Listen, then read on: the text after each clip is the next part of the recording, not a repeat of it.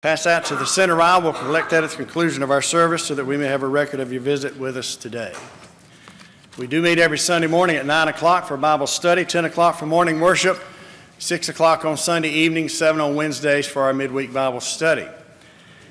Our song leader today, as usual, is Brother John McDaniel. He selected number 435. 435 is our first song. If you wish to grab a song book and turn to that number or watch the screen above me at the appropriate time. Brother Chad Dollahite will bring us the message of the hour. Ricky Spake will lead our minds in prayer at the appropriate time, and Scott Williams will conclude our service in prayer this morning. Concerning those on our prayer list, Wanda Young, the aunt of Josh and Chloe Chapman, has been moved to the Atlanta Medical Center, and now she's scheduled to have surgery on Tuesday. She has yet to have surgery just yet, but the uh, latest information we have is she is scheduled to have surgery Tuesday morning. Ruth Tuggle fell yesterday and is at home recovering. You're asked to remember her at this time. You're also asked to continue to remember Helen Head, Florine King, who continues her recovery at home, and Sister Bill Yu as she continues at the Oaks Assisted Living Facility in Carrollton. Also, Marlene's caregiver, Karen, has had the flu and has not been feeling well. Are there others that we should mention? If you're graduating from high school or college, please send a picture with your school information to Joyce as soon as possible. For those graduating from either high school or college, please provide picture and the information accompanying that to Joyce as early as possible. Other activities I want to bring to your, your uh, attention. Group 3 will meet this Saturday, April the 20th at Jake and Julie's house. This is Jake and Julie's uh, group Group 3 will meet this coming Saturday, April the 20th, 6 p.m. Group 1, Adam and Carrie's group, will meet Sunday night, which is next Sunday, April the 21st, after the evening worship service in the Fellowship Hall Pizza Party. There's a sign up list in the foyer. Our gospel meeting is rapidly approaching. It begins the last Sunday of this month, April the 28th, goes through Thursday, May the 2nd. We've assigned that uh, Sunday as our goal attendance day. We're hopeful of having 250 in attendance, which we feel is certainly within our grasp. Our attendance numbers of late have been hovering just below 200, so we're hopeful that we can exceed that and reach our goal of attending 250 that morning. We'll have a potluck after the morning worship service, as we typically do on gospel meetings. Groups, uh, Brothers Keepers, groups one and two are asked to set up tea and coffee, and groups three and four will be asked to clean up. But again, that gospel meeting is rapidly approaching. We have some flyers available for those who wish to help us promote that, and we would ask you to invite your friends and family and neighbors to our gospel meeting upcoming very soon. Shortly thereafter, our youth day will be here at Bremen, Saturday, May the 4th, beginning around 9 o'clock, I suppose, Johnny. Brandon Britton will be the speaker from the Forest Park congregation in Valdosta. If you've not ever heard Brother Brandon, you're certainly in for a treat and he will do an excellent job for sure. The next area wide singing is this coming Friday. I beg your pardon, Friday, April the 26th. Friday, April the 26th at the West Georgia congregation. Two other brief announcements, and I don't see her in attendance this morning, so I think I'm safe in making this surprise announcement. We are hope, looking forward to having a surprise 80th birthday party for Sister Barbara Cron next Sunday next Sunday after the morning service. For those who wish to stick around after that, her son Chris is having a catered meal. For those who wish to participate in that, please let Joyce know at your earliest convenience today if possible. Also, to keep you up to speed as to what's happening uh, concerning Christians for Science, Brother Bob Staples, that we've had to come and speak to us before, concerning his efforts to identify evolution being taught as a fact in the government schools. There's a rally planned for Monday, April the 29th, beginning at 10 o'clock on the steps of the Georgia State Capitol. We're trying to put logistics con- together concerning that event. Once we get more information, we'll certainly make that known to you. But block that date if you have the availability to participate in this event. The more folks there at that meeting, the better. Would you bow with me, please? Kind and gracious Father, we're grateful for the many blessings of life. We're thankful that you spared our lives to this hour, that we have the opportunity to worship Thee in spirit and in truth. Father, may we have come for no other purpose to do just that. Forgive us when we fail Thee, Father. May we stand pure and clean in Thy sight and focus on our energies here today, that You'll be happy with our worship, and we'll edify one another as a result. Father, we're prayerful for those who have a public part in leading us in our worship today. May they have prepared themselves in such a way that they may lead us in a song, lead us in a prayer, present to those things to us that are most needful for us at this time. Father, continue to watch over and care for us, for this is our humble prayer in Jesus' name. Amen. Let's continue our worship now and stand and sing number 435.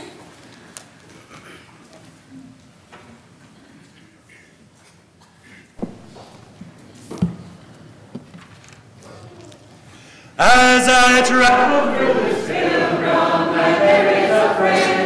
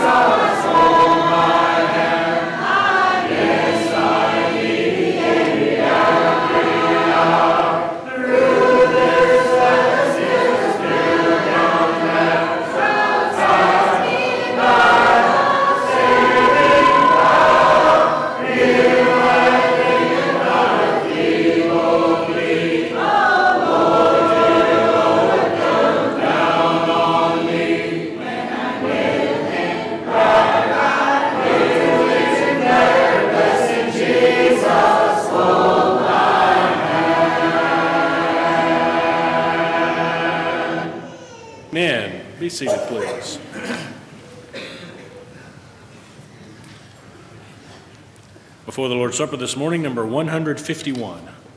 151.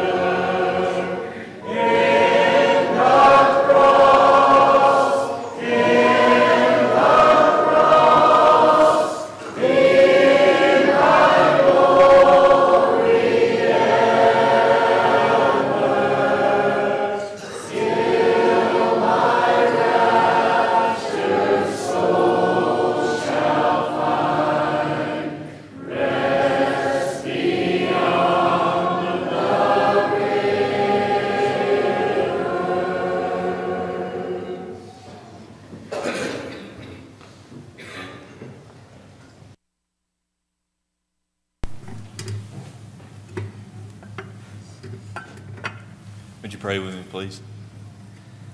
Our Heavenly Father, we're so thankful for that cross. Our Heavenly Father, we're so thankful for Jesus who went to that cross on each one of our behalves. Our Heavenly Father, we're so sorry for our sin that put him on that cross. Our Heavenly Father, we pray that we use the scripture to go back and learn what our Savior truly did for each one of us on that cross, the agony he suffered for each one of us. Our Heavenly Father, we ask that you bless this bread. Heavenly Father, we pray that we, our minds reflect on this bread which represents Jesus' body that was slain on each one of our behalves. We pray all this through Jesus' name. Amen.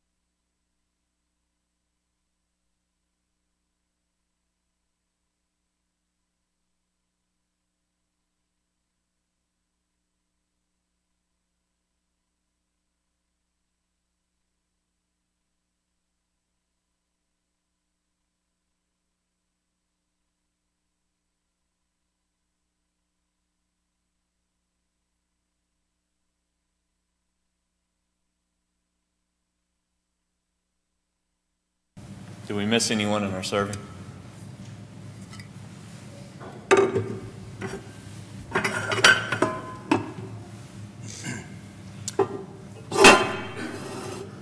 Let's continue our prayer. Like manner, and Father, we thank Thee for this fruit of the vine which represents us Christians that shed blood of Lord Jesus Christ on our behalf. As we're about to partake of it, may we do so in a manner well pleasing in Thy sight. In Jesus' name we pray. Amen.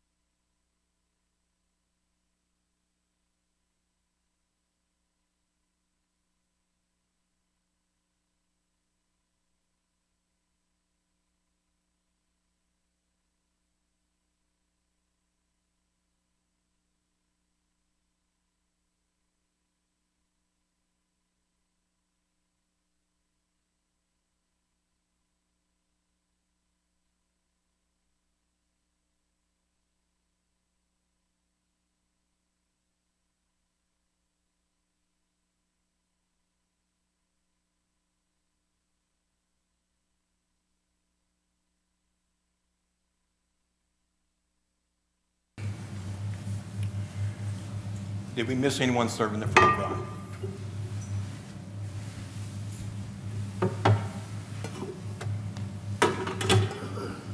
This concludes the Lord's Supper. We now have a privilege and a commandment to give back to God as we've been prospered. Would you pray with me, please? Our Heavenly Father, we're so thankful for all the blessings that you give to us. Our Heavenly Father, we would never be able to sit down and write them and count them all out. Our Heavenly Father, we're so thankful, and Heavenly Father, we pray that we give back to you as we've been prospered. We pray that we're good stewards over everything that you give to us. Heavenly Father, we pray that you bless this money and this money will go to further your kingdom. We pray all these things in Christ's name. Amen.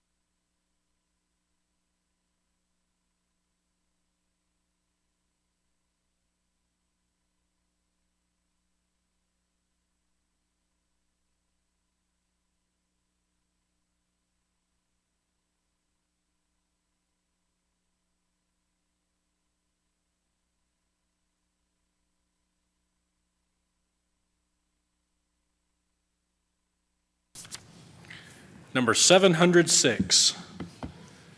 706.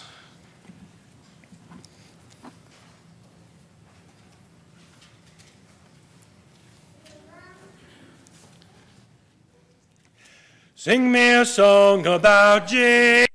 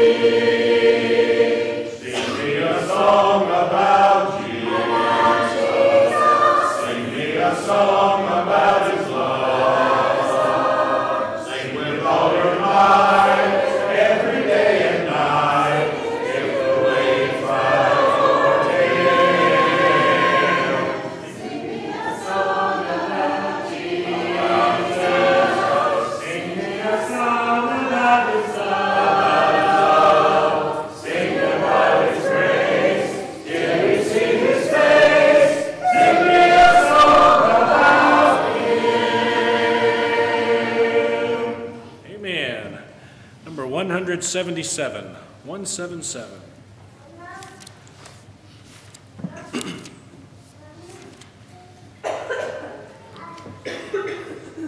In verses 1 and 3.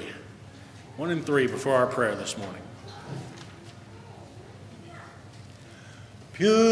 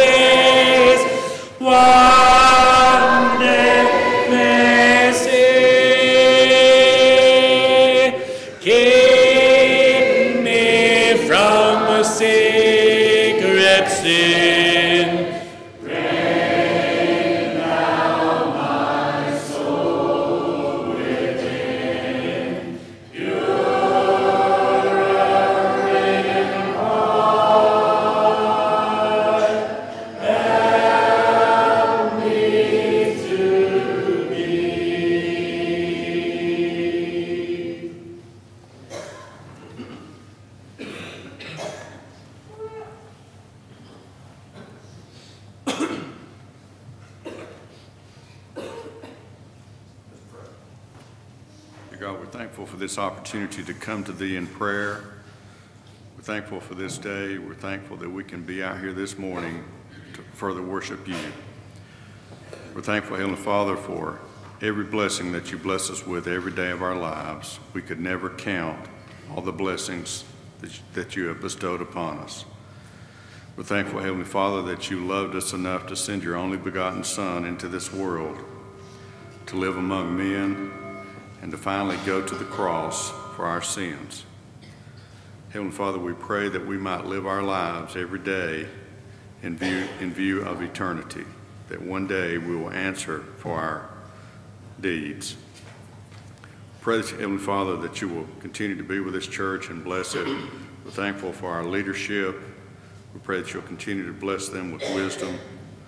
We pray, Heavenly Father, that you will bless us as followers, that we will uh, live good lives daily and, and be good, good examples to other people around us. We also ask, Heavenly Father, that you might forgive us of our sins and our trespasses.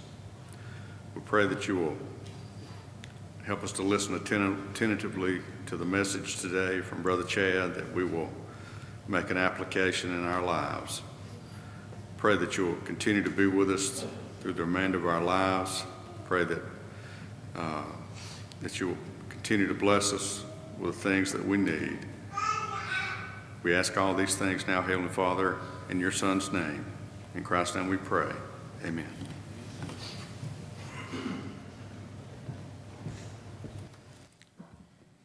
Invitation song this morning will be number eight. Number eight. And before the lesson, we'll sing 699. 699. Let's stand for the song before the lesson. We'll sing verses 1 and 4. And then Brother Chad will speak to us. Let's sing out together. Hold out those hold notes. Lean on the mighty of Jesus, high is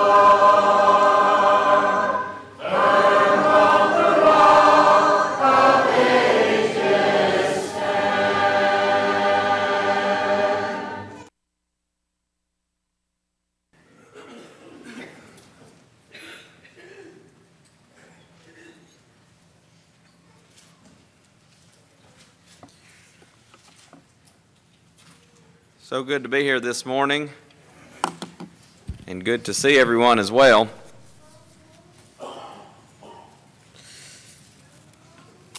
We have been talking for several weeks about Bible authority. We're going to continue that this morning, looking at another aspect of authority. And just as we did last week, notice what we've looked at thus far. We have defined authority. Authority is someone who has the right to command, and, and in which case others have the obligation to obey. We've seen that God has given all authority to Jesus, and then Jesus turned and gave authority to his apostles. That's why the things that they write are the commandments of the Lord. The Spirit inspired the Scriptures, 2 Timothy 3.16, and also into verse 17 there. and today, Jesus authorizes by means of the New Testament, the, the last will and testament, we might call it, of Jesus Christ, the Son of God, and that's what he left for us to follow here on this earth. And then last week we noticed that sometimes God authorizes by means of direct statements and commands. Sometimes people use the expression, don't just tell me, show me. Uh, we, I've heard the expression many times in, in relation to children that children learn more from what is caught than from what is taught. They learn more from the example that they see, or at least I think it would at least, at the very least, be fair to say they learn as much from the example they see as from what they are directly taught by mom and dad and, and others as well. And so we're talking, of course, about example. Direct statements are not the only way God authorizes. He also authorizes by means of an example. And I want us to just break it down into uh, three different categories here and notice these, and, and then the lesson will be yours. Let's notice, first of all, examples that we ought not to follow. It seems obvious and, and fair that we should talk about some examples that we ought not follow. Any example that doesn't have the approval of Christ or the apostles, obviously, ought not to be followed.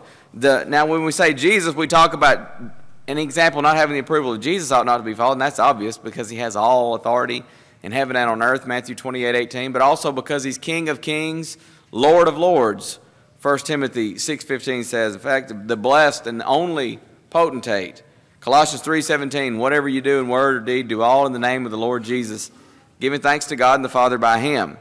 We, want, we don't want to follow anything that doesn't have the approval of the apostles because they are the ambassadors of Christ. In fact, in 2 Corinthians 5.20, Paul says, as though God did beseech you by us. Paul says, us being the apostles, we pray you in Christ's stead, be you reconciled to God. You know, when an ambassador for the United States speaks, it carries with it all the authority, and it is as if our government were speaking itself. And so when an ambassador for Christ, one of the apostles, spoke, or speaks today even through the written word, it is as authoritative as if Jesus Christ himself were standing here and giving that command. So we don't want to do anything that doesn't have the approval of Christ or the apostles. And the simple thought here is just simply that when, when the New Testament records someone who made a mistake, who erred, then that is an example that we want to avoid. We want to stay away from that. And that just got, kind of goes without saying, but it, it, does fall into this category of examples. Turn in your Bibles, 1 Corinthians chapter 10, and you'll see this principle illustrated here.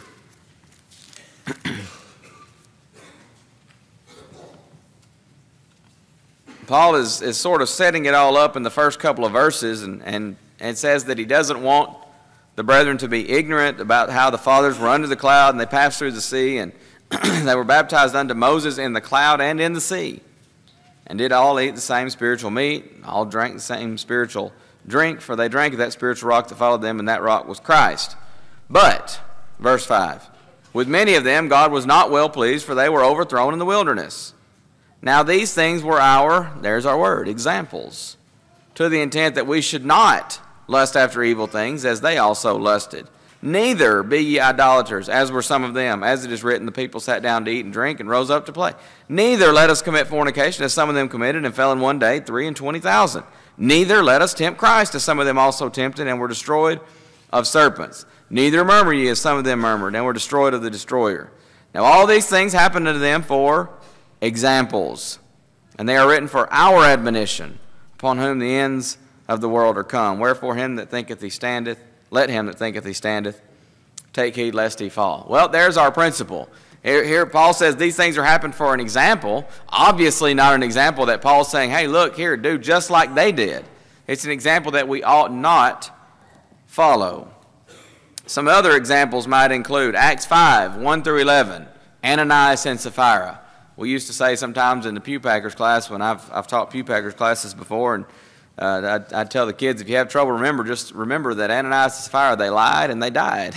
and, so, and that's exactly what happened. They lied about how much money they gave to the church. It wasn't that they didn't give all the money to the church, the money was theirs to do with as they pleased. But it was that they lied about how much they gave. Oh, yes, we gave it all. They wanted this big recognition from the church for giving all of the money from that purchase to the church. But the problem was they didn't give all the money. And so they fell dead because of that. That's obviously an example to teach us that we need to be careful and teach us not to be uh, dishonest. Acts 8, 18 to 23. Simon the sorcerer has obeyed the gospel. He's a Christian, and, and he sees that Peter has this amazing power to confer the ability to do miracles onto other people. And he says, I want this power also. He says, he offered them money, the text says. Give me, give me this ability to pass on the miraculous. And of course, Peter tells him, says, uh, you, have, you don't have either part nor lot in this matter. Your heart's not right in the sight of God. You need to repent and pray. Perhaps the thought of thine heart may be forgiven thee. Well, there's an example of somebody, again, dealing with money, as so often is the case. But he, he says, Your heart's not right in the sight of God. This is not an example for us to follow. It's a warning, a cautionary tale, we might say.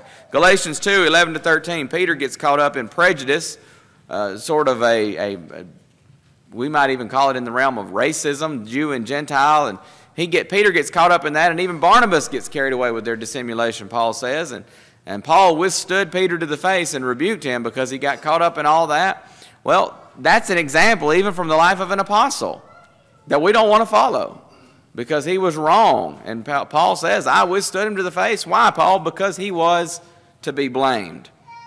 All these are examples that we ought not follow. Let's talk second about examples that we have the option of following.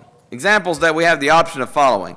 When we have an approved example, sometimes there are one of several options that are available.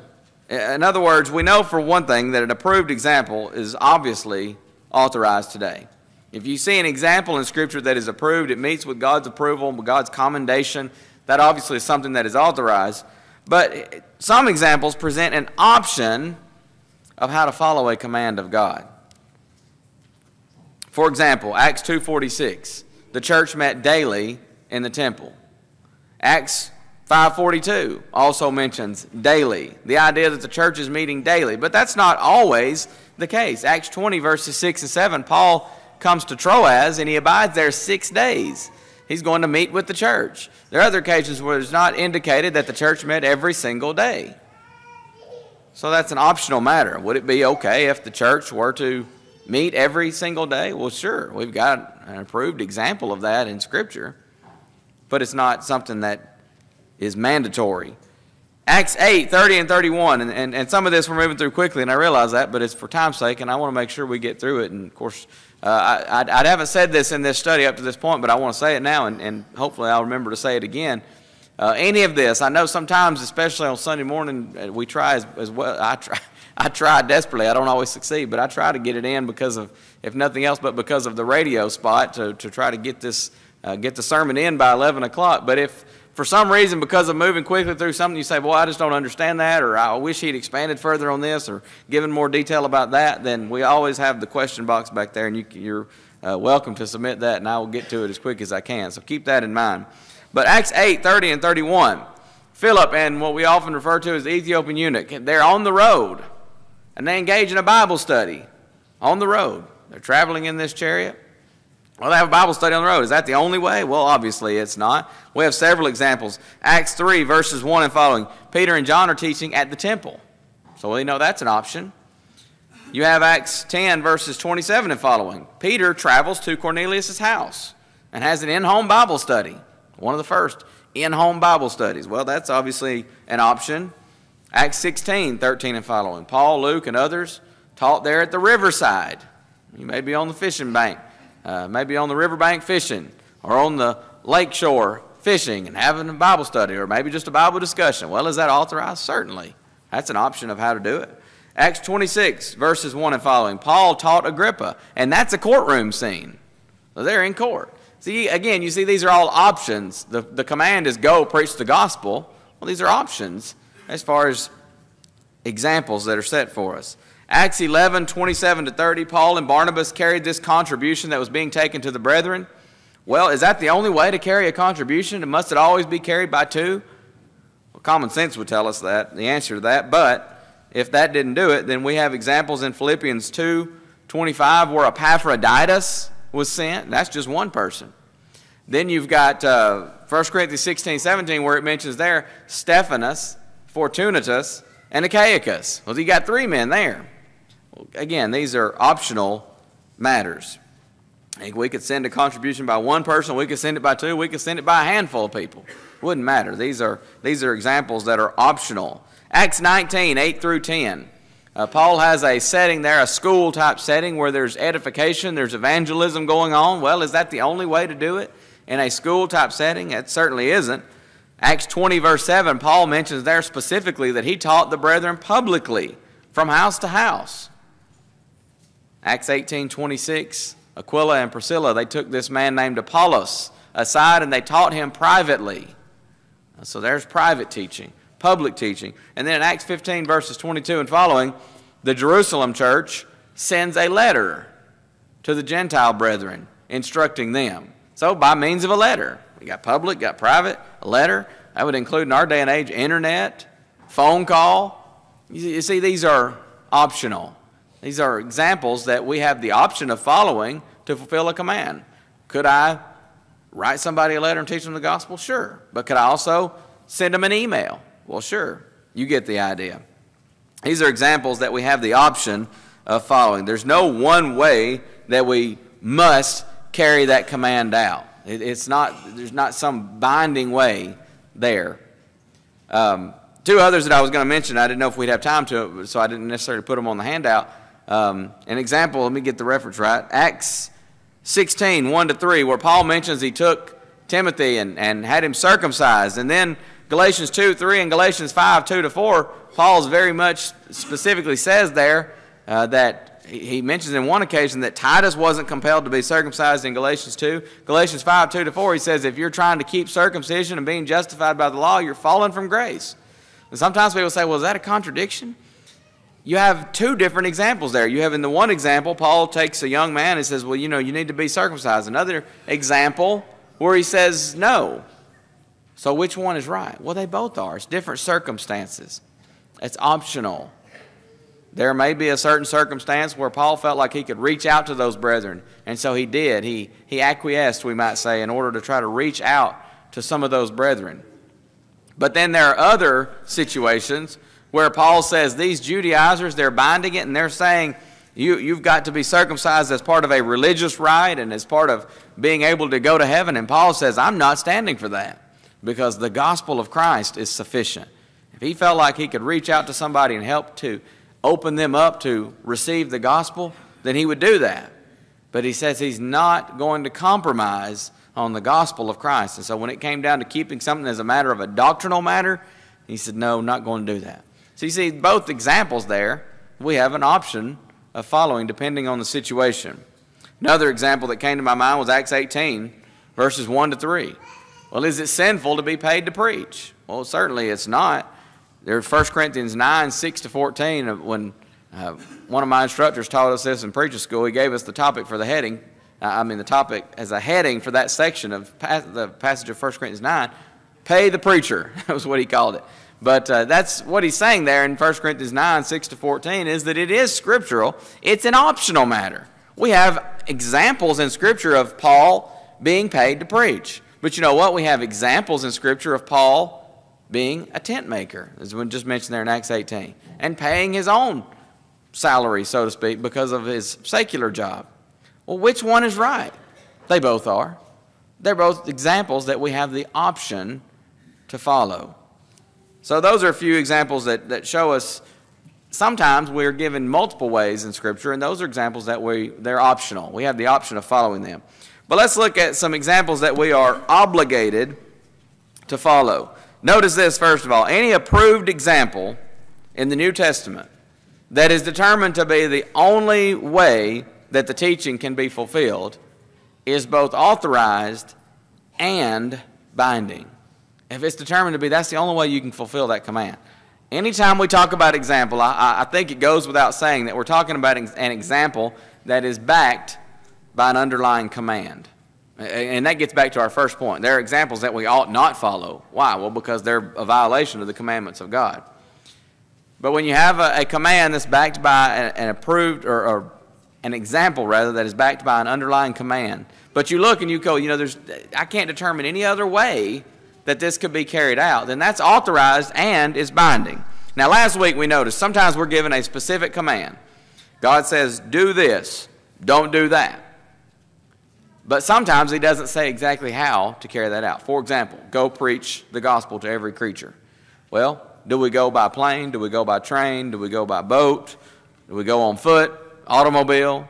All those are, are optional. And so we, we talked last week about expediency. A, a train or a car would be an expedient to carrying out the command to go teach the gospel or go preach the gospel to every creature. But when we are commanded and told how to do it, well, then that is not just acceptable, but binding. Genesis 6, remember God told Noah, You're going to build an ark. It's going to have a single window, a single door. He gives him the dimensions of the ark. He tells him the kind of wood, all these specifics. Well, not only does gopher wood then become acceptable for Noah to use, it becomes binding. He must use that in the construction of the ark. Jesus, had he just said in Matthew chapter 26, uh, Y'all take the Lord's Supper and remember me. Well, that leaves a lot of things open, doesn't it? But he didn't just say that. He specified unleavened bread, fruit of the vine. Of course, he says, this, this is my body, this is my blood, and representative, of course, is the idea there. But he gives specifics. And so if we were to, you know, the old illustration has been used, Coke and ice cream, or cake and ice cream, or whatever you may be, really you can fill in the blank with any food that we were to put on the Lord's table and serve that, then that would be unauthorized. Because Jesus was specific. So that's an example that we are obligated to follow. Acts 8, 35 through 40 is another good example where, again, Philip and the eunuch, they're on the road, they're studying, and, and let's just turn over there. And notice, as they come to this water, in verse 35, Verse 35 specifically is the one that mentions Philip opened his mouth. Philip opened his mouth and began at the same scripture and preached unto him Jesus. And as they went on their way, they came into a certain water. And the eunuch said, See, here is water. What doth hinder me to be baptized? And Philip said, If thou believest with all thine heart, thou mayest. And he answered and said, I believe that Jesus Christ is the Son of God. And he commanded the chariot to stand still, and they went down both into the water. Well, you know, there's something to that. They're not uh, Philip doesn't say, get, grab a container and we'll go get some water and then we'll sprinkle it on you. He doesn't say, grab a container, we'll get some water and come up here and pour it on you. They go down into the water, both Philip and the eunuch, and he baptized him.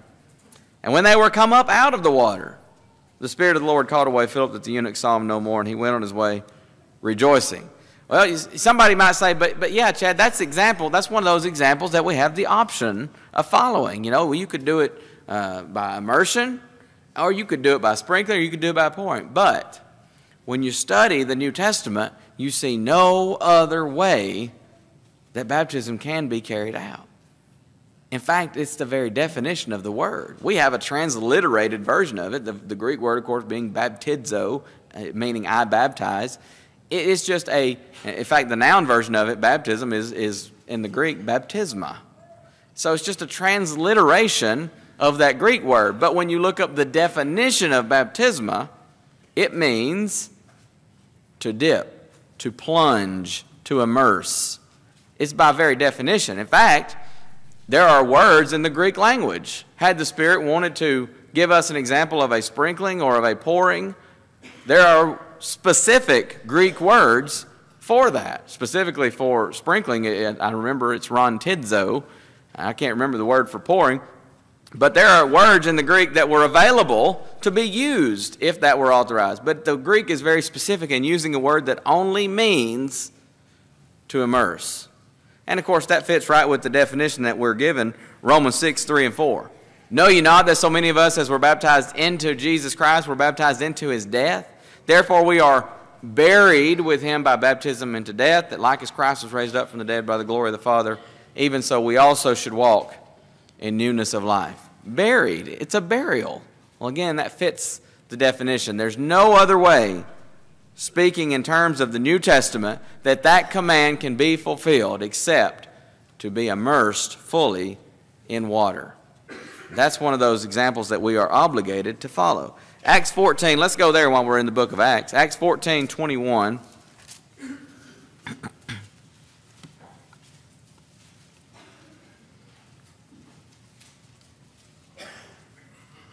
Here's Paul and Barnabas, and they're preaching the gospel to that city, uh, Derbe, that is, verse into verse 20. And had taught many, they returned again to Lystra and to Iconium and to Antioch, confirming the souls of the disciples and exhorting them to continue in the faith, and that we must, through much tribulation, enter into the kingdom of God. And when they had ordained them elders in every church and had prayed with fasting, they commended them to the Lord, on whom they believed. They had elders, ordained them elders, in every church. Now, this might seem to be an optional matter, but it's not. We see in Acts 15, verse 2, in fact, you're right there. Let's just turn over and look at Acts 15, verse 2. When therefore Paul and Barnabas had no small dissension and disputation with them, these Judaizers, they determined that Paul and Barnabas and certain other of them should go up to Jerusalem unto the apostles and elders about this question. Well, they had a question, so they want to go and speak to the elders. Paul in Acts 20, verse 17, when he's getting ready to leave, who does he call for when he wants to instruct the congregation? He's calling for the elders there. Philippians 1 1 mentions uh, Paul greeting the saints with the bishops or elders and the deacons. Titus 1 5, he tells Titus to appoint elders in every city. This might seem to be optional, but it's an example that we're obligated to follow. And I'm thankful to be in a congregation that has elders. We need to understand that it's not an optional matter this example in scriptures of elders. Now, there are times when a congregation just does not have men who are qualified. And believe me, a congregation is better off in working to get men who are qualified than appointing unqualified men. And too often that's happened where a congregation says, Boy, we don't have elders. We got to have elders. And so they rush somebody into the eldership who's not ready nor qualified. That's a mistake. But I've also seen congregations where for whatever reason, the congregation is just content to rock along with no elders and say, well, you know, we'll just have men's meetings and they'll make the decisions and they'll decide everything. But, folks, that's not God's plan. That's not God's way of doing it. You say, well, we don't have anybody qualified. What are you doing to get men qualified? Think about it, young folks and middle aged folks here. We've got three elders, but the sad reality of life is those three elders aren't going to live forever. What are we doing to prepare ourselves for future service for the Lord? But God doesn't just say, well, here's an optional example in Scripture. God says, I want elders in every church. I want scripturally qualified elders in every church. But that's an example, one of those examples that we are obligated to follow. Acts 20, verses 6 through 8. You're probably still there in the book of Acts, so let's just, we can go over there and take a look at this. one of those we sections of the book of Acts, we, we sometimes call it we, W E. It's the idea of Luke is traveling, Luke being the author of the book, Luke is traveling with Paul at this point because he uses that pronoun we. But he says, verse 6 We sailed away from Philippi after the days of unleavened bread, Passover, and came unto them to Troas in five days, where we abode seven days. Why did they hang around for seven days? Well, you see in verse 7 Upon the first day of the week, when the disciples came together to break bread, Paul preached unto them, ready to depart on the morrow, and continued his speech until midnight. And there were many lights in the upper chamber where they were gathered together. Well, somebody asks the question sometimes, well, why is the day binding but not the location? I mean, they're in an upper chamber, there are many lights there. Um, Paul preached till midnight. Uh, y'all want to bind that one? um, but you know, sometimes people will say, well, why do we pick the day and say, well, that's binding? It must be on the first day of the week, but we don't bind the other stuff there. Well, the reason is because in the rest of the New Testament, you'll see many places where the Lord's Supper is taken. Paul talks to the Corinthian brethren in chapter 11. He says, When you all come together into one place, it's not to take the Lord's Supper. Of course, he's rebuking them there because they're coming together into one place, but not for the purpose of communing together. They had turned it into a meal where some folks got plenty to eat and, and were borderline being gluttonous, and then others had nothing. But in the rest of the New Testament, we see many places, but there's always only the one day mentioned. Of course, the first day of the week is when Jesus rose from the dead, Mark 16, verse 1. 1 Corinthians 16, 2, Paul says there, upon the first day of the week, let every one of you lay by him in store as God hath prospered him, that there be no gatherings when I come. Sometimes the men who are up here uh, serving at the table on Sunday mornings will make the statement after the bread and the fruit of the vine have been served that this is not necessarily a, it's, it's, not a part of the Lord's Supper, but it's a convenient time. Why? Well, we're gathered here together to partake of the Lord's Supper. We have men who have been uh, helping to facilitate the serving of the Lord's Supper, so it's a convenient time to go ahead and fulfill the command to lay by and store on the first day of each week is the idea there in, in 1 Corinthians chapter 16, verse 2. Well, many locations in Scripture, but there's only one day that we ever read about, and that's the first day of the week. So that's an example that would fall into that category of an example that we are obligated to follow. Closing out our thoughts here, there are three different kinds of examples as we've noticed. Sometimes God gives a direct command and says, here's what you need to do, or don't do this. But sometimes we have an example. And sometimes it's an example that God says, here's a, a cautionary tale. Learn from this mistake and don't follow it. And so there are examples, as we said, that we ought not follow. But then sometimes there are examples that we, we have an option of following. Well, a preacher may choose to preach for a congregation and be paid full time. I'm very blessed in that regard. And, and believe me when I say I don't take it for granted. I appreciate the congregation here so much and the ability that I have to devote full time to spend with brethren, to study God's Word and to preach God's Word, and I'm very thankful for that. A preacher may choose, and I've, I've known preachers who say, you know, I, I, I feel like I just want to be uh, self supporting. Maybe it's a congregation that can't afford a full time preacher. And so the preacher says, I'm going to uh, get a secular job and I'll preach on the side. Well, that's an option. We have an example in Scripture of that with Paul in Acts 18. And that's an option. And then, of course, there are examples that we are obligated to follow. They're not just optional, they're not just authorized, they're binding. I love what Paul says in Philippians 4 and verse 9 to the brethren there at Philippi and to you and me as well. He says, Those things which you have both learned and received, and heard and seen in me, do, and the God of peace shall be with you. Paul says, I've, I've set you an example. In fact, the, the well known verse, 1 Corinthians 11, verse 1, where Paul says, Be ye imitators of me, even as I also am of Christ. He says, Follow my example because I'm following Christ. You know, one example we have in Scripture is Jesus Christ. He came to this earth and he lived as a man. Peter says in 1 Peter 2, For even hereunto were you called, because Christ also suffered for us, leaving us an example. Leaving us an example. And folks, this obviously not an example that we ought not follow. It's not an example that is optional that we follow.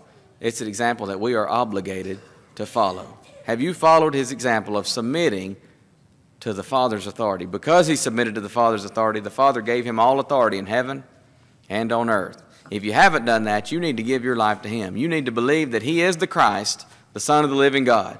You need to repent and turn away from your sins, confess His name as Lord, and as we read about in Romans 6 3 and 4, be buried in the watery grave of baptism, have your sins washed away by the blood of the Lamb. When you do that, He will add you to His church. Acts chapter 2, verse 47 praising God and having favor with all the people, and the Lord added to the church daily those who were being saved you, you obey the gospel of Jesus Christ, He will add you to His church. Brothers and sisters in Christ, are we following the example that He left for us? Are we following that example? And if not, why not? Heaven's invitation is open. If you need to respond in any ways, won't you make sure your life is right with God? Do it now while we stand and sing. Have you been to Jesus for cleansing power? Are you washed in the blood of the Lamb? Are you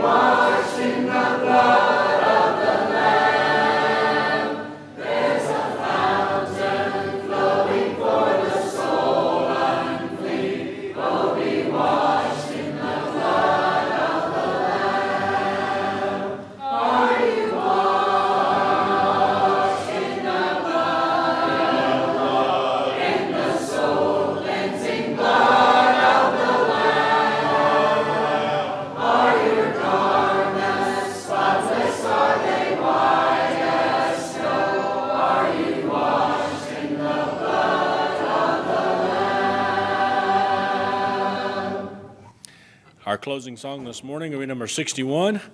Thankful for your presence here at our worship today. We invite you back anytime you can be here. We will have our evening worship at 6 p.m., Pew Packers at 540. Look forward to seeing you this evening. Number 61, verses 1 and 3. Then we'll be dismissed with a prayer. If you've filled out an attendance card, pass it to the center aisle to be picked up as we sing. There's within my heart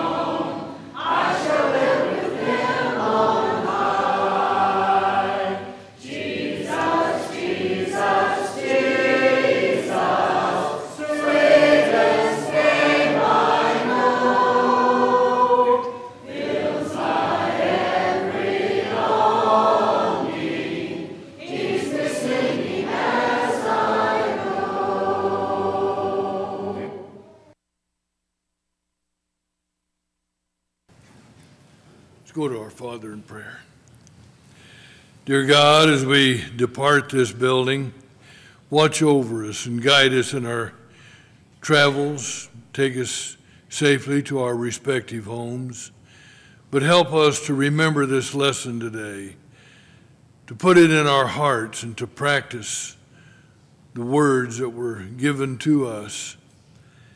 Guide us always in your path. Help us to be examples, to shine our light to many others, but help us in all of our endeavors. We ask these things in Jesus' name. Amen.